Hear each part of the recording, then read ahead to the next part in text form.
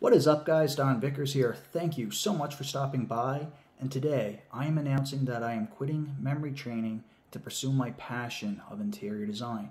My friends and family have always been in awe of the innovative concepts in my home. Today I will give you one free tip. Leave your walls bare. This helps the brain by providing a calming presence and people appreciate the plain look. Haha, this is an April Fool's joke and this is a video on memorizing speeches. So essentially how this works is you take the first letter from each word, you write it out, you review it a few times, and it gets in your brain really faster. Now, I don't recommend this for studying because you want to truly understand the concepts, not just memorize words, but this will help with speeches, or maybe you're preparing your wedding vows, you could memorize it this way.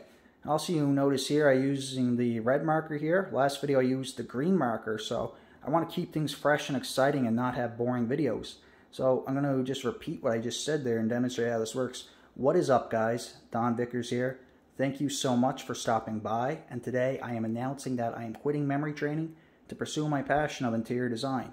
My friends and family have always been in awe of the innovative concepts in my home. Today I will give you one free tip.